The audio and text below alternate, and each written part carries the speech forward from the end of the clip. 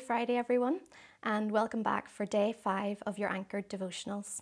Today we're focusing on the church, and more specifically, we're thinking about the early church, the way in which it was anchored in the hope of Jesus and anchored then in love for one another. Before we start, I wanted um, to tell you a short story. It is Disney themed again. I apologise for that, um, but I promise it's relevant. Last week, I was working on this beautiful puzzle. Okay, I hope you can see it. And I don't ordinarily do puzzles. It was a challenge I set myself, but when I opened the box and I saw 1,000 tiny pieces staring back at me, I experienced something close to panic and a great degree of regret. But I kept going and I suddenly realised something that most puzzlers see every time they open a box that as you put the individual pieces into place, you start to see the big picture coming through.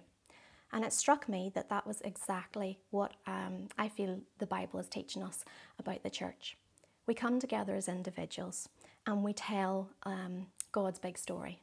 We talk about His rescue plan, we show it in action, and we find our purpose and we work best when we are part of that united, loving church. So I want you to bear that in mind as we begin thinking through this today. We'll pray to begin with, if that's okay. Dear God, I pray that you would be with everyone who's listening today. I pray that they would now have settled minds so that they can listen and know what it is that you want to teach us. I pray that you would be working in their hearts and giving us information that we can then take on in our lives about your love and how we can put that love into action. Amen. So, Today's reading is from Acts 2, verses 42 to 47. And we're going to be thinking about uh, the characteristics of the early church, what it was like. But before you'll read that yourselves, I want you to take a little look with me at what was happening just before the passage begins. What was happening? Well, basically everything. Jesus had died on the cross, came back to life, ascended to heaven, and before that promised the disciples that God would send them the gift of the Holy Spirit. And the Holy Spirit would give them the power to preach and continue his mission on earth. At Pentecost, the Holy Spirit came, and with God's power, the disciples were able to preach um, a message that people in Jerusalem heard, even if they didn't speak the language, reminding us that God and His power was in that. We're told that about 3,000 people gave their lives to Jesus um, that day, and so the church was born. In that moment when Peter was preaching, I found it really interesting that he called them brothers and sisters. I thought it was important that we think about the church as a family and we remember that it's not a bloodline that we learn about in biology, it's the blood of Jesus that unites us and brings us into fellowship together. So pause the video now and take some time to read Acts chapter 2, verses 42 to 47 for yourself, and then we'll come back and we'll think about what that early church looked like.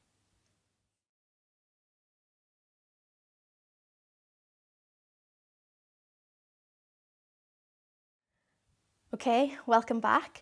Um, we're going to dig straight into that passage now. We're going to be looking first of all at the characteristic of the early church um, as a church that was anchored in the hope of Jesus. We're looking at verse 42 to begin with. And what do we learn about the church in verse 42? Well, we find out that the Christians, the believers, devoted themselves to the apostles' teaching, which is the gospel, the good news about Jesus. They set their hope in Him the believers were devoted to, they devoted themselves to the fellowship. That means that they were united in Christ. They recognized that they were like minded because of Him, because that's what fellowship means. You're joined together, you're brought together by one common idea. They devoted themselves to the breaking of bread, um, thinking about communion. They were honouring and sharing in Jesus' sacrifice together. And then finally, they devoted themselves to prayer. So, in all of those ways, we see that the early church was relying on God. It was an upward looking church. What does it mean to devote yourself to something? Because that comes through really strongly there.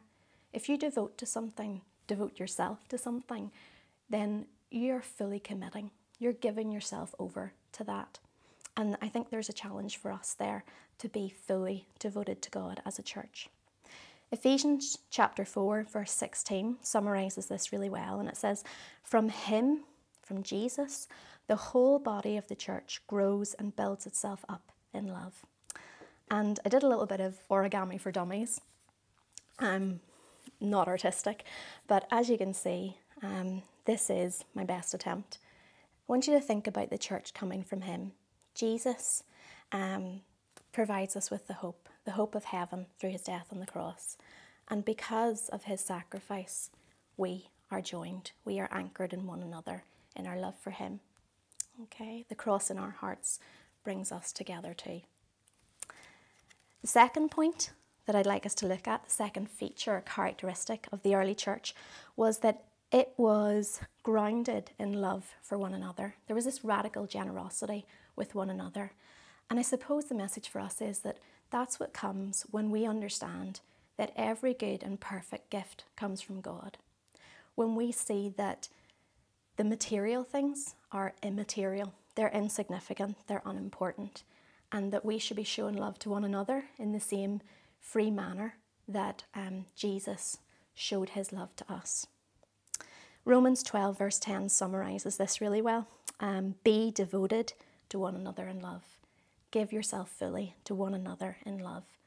And your challenge today, your spiritual challenge, if you take it up, is to try to show that love in action.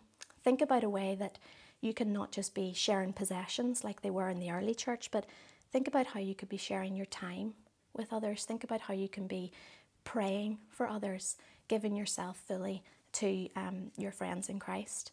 Maybe text someone today and say, Listen, I'm going to be praying for you, or a group of friends, and ask uh, if they have any prayer requests that you could be um, keeping in mind.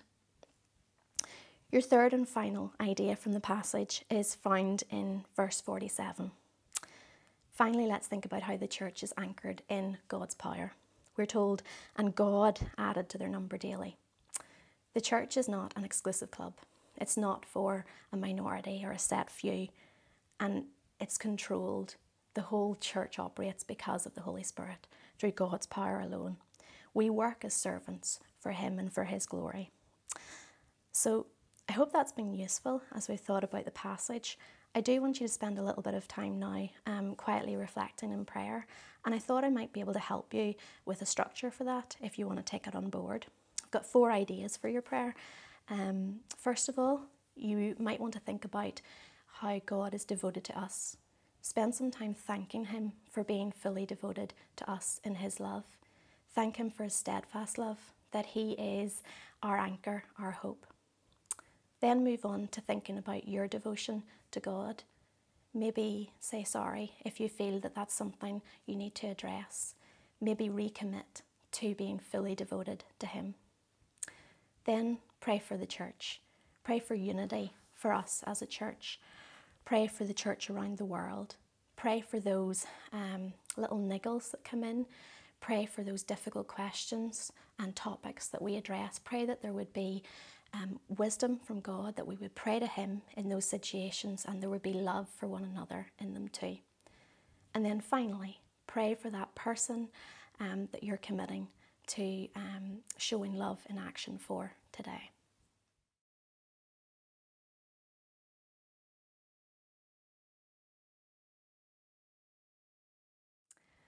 Okay, um, welcome back from your short time of prayer.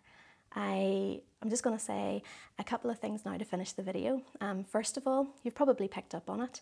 Your code word for tonight is devoted. I thought there was no other choice given the passage that we have. And I hope you remember that message of being devoted to God, devoted to one another. Um, and as we go forward as a, a group of um, young people um, and leaders into the year ahead, I, I just pray that we would all be anchored um, in that attitude towards God and towards each other. I hope you have a great night tonight. It's going to be a great celebration, and we'll see you very soon. Bye bye.